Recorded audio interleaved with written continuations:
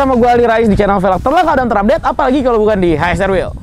Oke, di belakang gue sudah ada salah satu mobil SUV yang cukup cukup diminati oleh banyak kalangan ya. Ini adalah Fortuner eh, Fortuner VRZ ya 2021. Nah, 2021 dan ini juga sudah kita modifikasi. Ini legender dari tim HSR yang selama ini kita kerjakan. Nah, video kali ini gue akan mengungkap siapa sih sebenarnya sosok dari uh, empunya nih si Fortuner Legender tim HSR ini siapa yang punya dan bagaimana ceritanya kenapa sampai Fortuner ini kita modifikasi dan lain-lain. Oke, sekaligus nanti kita akan bahas juga full modifikasi lengkapnya dari Fortuner ini karena Fortuner ini juga sudah dirubah total nih, eh sudah banyak lagi nih yang dirubah dan kita akan menjelaskan secara detail part by partnya sama ownernya langsung. Oke, ini dia gue perkenalkan ownernya sama kalian. Ini dia, ini adalah Gary. Hai Ger. Halo Mas Aldi. Apa kabar? Baik, baik. Boleh perkenalan dulu dong Ger. Kenalin nama gue Gary. Gue sekarang masih mahasiswa di Universitas Prasetya Mulia. Prasmul. Prasmul. Perasaan mulu. itu jokesnya anak-anak hapus lah. Bercanda ya tuh. Bercanda Prasetya Mulia ganteng. Ger, coba dong. Ini kamu boleh jelasin nggak? Ini kok kamu masih mahasiswa umur mungkin sekitar berapa ya? 19, Sekarang 20? 19. 19 tahun. Kenapa kok pakainya Fortuner sih? Fortuner ya. Ini sebenarnya gini-gini ceritanya. Jadi dulu tuh Mhm. gue tuh emang suka gitu ya sama mobil-mobil modif gitu ya, mobil JDM gitu loh Mhm. dan ya salah satu impian mobil gue sekarang tuh R34 tuh, Nissan 34. Cuman R34. Mm-mm. Oke, Skyline. Skyline. Oke, itu dulu suka modif-modif suka udah ada mobil yang dimodif yang beneran atau memang dulu hanya di game? Di game. Oh, di game. berarti di game, sama. ah, di game sama nonton film. Di game memang nonton film. Hmm, gitu. Oke, R34 ke Fortuner agak jomplang iya, ya. agak beda sih ya. Ah. Cuman peng, apa perasaan pengen modif itu kebawa sampai sini gitu loh. Ah, ah, ah, Ah, oke. Dan akhirnya eh, pengen nyoba nih gitu kan diesel gitu. Eh, lihat di YouTube, lihat teman-teman pada punya gitu kan kayak eh cobain deh beli Fortuner gitu kan. Yang sekarang lagi rame juga ya, Ya, Fortuner. Innova, Banyak Pajero gitu kan. Mm. Dan akhirnya kamu pilih ini, ya, aku Fortuner pilih ini. nih Fortuner Ah. dan aku waktu itu minta nih minta tolong. Mas Aldi kan Yes, buat betul. buat bantu bantu dong Mas ini kira-kira mau dimodif apa ya gitu kan ah, ah, ah. dan akhirnya dibantu sama Mas Aldi gitu kan Yes. yang pertama tuh bantu nih body kitnya Body kit. kan ini body kit eh, Legender Mhm. asli dari Thailand gitu kan pakai etonnya Fazuma Mhm. eh, ya eton Fazuma gitu Yes. kan Mm-mm. Ini body kitnya Legender dengan dikasih kita tambahin adlibs dari Fazuma. Mm-mm. Termasuk side skirt sama belakang. ya betul Pokoknya kalau body kit udah full lah keliling. Lampunya juga ya. lampu juga Mm-mm. eh, ini fog lamp juga udah ganti Oke. eh, pakai yang motor terus untuk headlamp dan eh, Stop lamp. stop lampnya juga itu eh, asli dari Legendernya Ini kenapa diganti? ini Fog lampnya? Kenapa diganti? Kan standarnya juga udah ada tuh. ya standarnya Atau ini kayak gara-gara kacamata jadi agak susah ngelihat gitu. jadi, jadi pengen yang agak lebih terang gitu kan, lebih terang. Nah, ini ini terang banget sih kalau malam nih, kalau ngedim-ngedim buta tuh orang depan pasti. Sebenarnya nggak perlu pakai lampu utama, pakai fog lamp dong udah terang ya. Mantep. Serius. Mm-mm. Gua pas kemarin cobain juga, wih gila pakai fog lamp ada terang. Emang yang motor tuh ngeri loh. Terangnya tuh nggak bohongan. Iya, makanya. Heeh, Karena sekarang banyak lampu yang kelihatannya terang tapi bohongan. Pas kita masuk ke mobil, kita bawa jalan kok bias gitu kan, jadi nyaru. Nah sekarang coba Ger, kita bahas di bagian eh, apa ini namanya undercarriage-nya nih. Coba. Oke, ini kita pakai Acelera Omicron CT dan ini Mhm. ukurannya 275 55 ring 20. Nah ini juga ada alasannya nih kenapa pilih Omicron CT ini. CT itu apa sih namanya? Country ya? Country. Apa balu ya ya aja lu. Eh, ini kita pilih ban ini itu karena pertimbangannya adalah mobil ini bukan untuk ke tanah, Mm-mm. ya kan? Gary pakainya rata-rata di aspal, ya kan? mentok-mentok paling bebatu-batuan lah. Iya. Emang ada?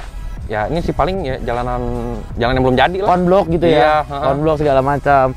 Nah kalau misalnya kita pakein yang empty, otomatis kan bakal berisik bakat Mm-mm. banget tuh kayak gitu. Nah supaya bannya juga masih support, udah gitu penampilan looknya juga ngedukung, makanya kita kemarin itu kita kasihin opsi pakai ban yang Omicron CT ini dari Betul. Acelera.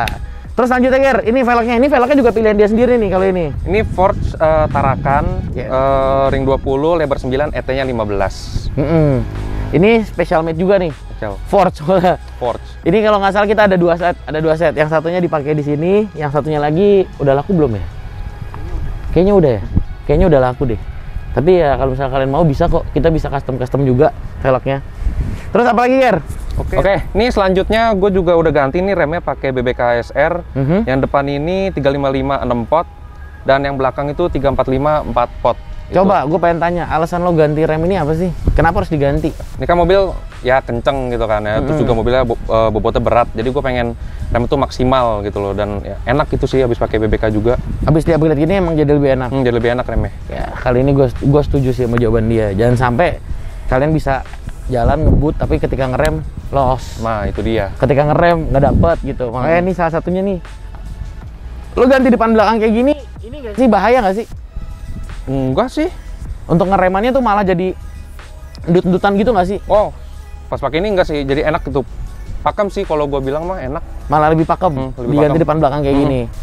Oke. Terus ini kayaknya udah agak ceper berarti udah pakai lower kit ya? Iya betul, udah pakai lowering kitnya HSR. Mhm. Sama shocknya gue juga udah ganti Pro Fender juga. Warna kuning nih. Nggak kelihatan Nggak ya? kelihatan ya? Hah? Yang belakang belakang kelihatan, ada, yang yang belakang ada yang kuning. Yang belakang kelihatan. Shocknya lo ganti pakai Pro Fender. Pro Fender. Kenapa shocknya diganti juga? Shocknya ya yang bawaan kurang enak sih. Pengen pengen lebih apa? Ini lebih rigid sih kalau gua ini. Oh, yang bawaan masih agak ngambang ya? Iya. Masih agak gini-gini boy. Ini ngayun-ngayun. Kurang kurang tough gitu loh, Iya. ya, kurang kurang tough gitu kan. Mm-mm. Habis pakai Pro Fender ini jadi lebih enak. Enak, enak. Oke, sip. Terus abis itu kita bahas bagian apa ini kan? Bagian Engine kali ya? Engine boleh. Engine nih, engine. Mm-mm. Coba, ini kan anak muda nih. Kalau engine stage pertamanya gue minta Mas Aldi nih buat Iya. bantuin Nah, gitu kan. Cuman remap only. Iya, waktu remap only, remap ke stage 1. Nah, tapi selanjutnya tuh apa ya? Tergiur gitu loh ngelihat di YouTube gitu kan, ngelihat teman-teman tuh pada punya kok kenceng-kenceng. Iya, kenceng-kenceng, cumi-cumi gitu kan. Pengen gitu. Nah, akhirnya ngobrol deh sama bokap gitu kan. Dan akhirnya boleh deh eh, ganti akhirnya eh, ganti front pipe sama mufflernya punya HKS gitu. Terus eh, kemarin juga udah di stage 2 di Elika dan kemarin juga berusaha pasang balance arm gitu supaya kalau ngebut lebih nggak limbung. Balance arm yang di belakang berarti. Ya, balance arm di belakang. Oke.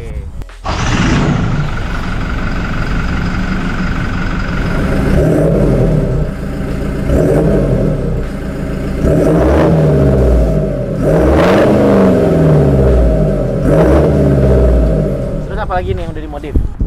Tuh, Pak, itu udah lumayan tuh budgetnya. Lumayan lagi? Coba. Terus yang dimodif apa lagi ya? Paling rep atas tuh ya jadi hitam. Dibikin hitam ya. Iya, dibikin two-tone hitam. ya Mm-mm, mobilnya. dibikin two tone. Nah sekarang pertanyaan gua, ini kan masih muda nih. Kok masih demen sih gitu loh, diesel cumi-cumi.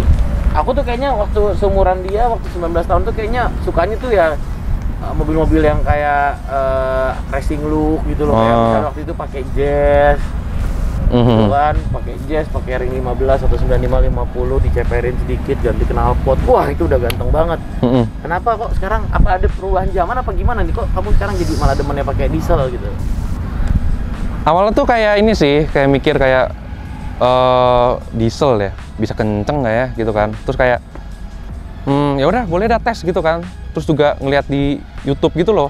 Banyak tuh yang apa ternyata ngejambak juga gitu kan karena Ah. torsinya tuh ternyata gede gitu kan kalau diesel kan torsi gede gitu kan terus ngejambak terus kayak wah boleh nih ya udah deh coba cobain nih diesel akhirnya Nah, terus Dan- gimana? wah. Pengalamannya nih, pengalaman kamu udah pakai ini. hasilnya sih kacau sih nggak nggak nggak kayak yang dibayangkan gitu loh kayak kira-kira kayak oh ya udah eh, biasa fun to drive aja gitu Ah. kayak lebih ngacir lah bisa nyalip ternyata pas di botol aduh kenceng sih kenceng nih Mobil udah kenceng, kenceng tapi jangan lupa mobil boleh kenceng, jangan lupa upgrade bagian pengereman. nah itu dia Semua orang bisa ngegas, semua orang bisa ngebut, belum Mm-mm. tentu semuanya bisa ngerem. bener Oke, Ger. Kalau gitu gue pengen ngajakin lo ini ah.